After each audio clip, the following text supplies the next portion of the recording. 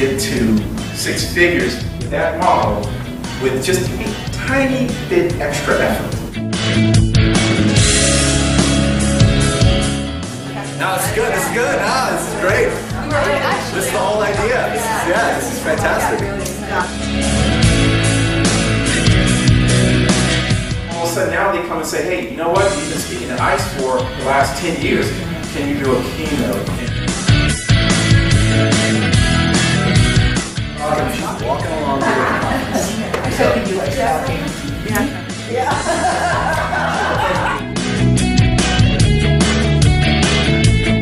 learn how to actually build and develop my business. I learned how to make it more profitable.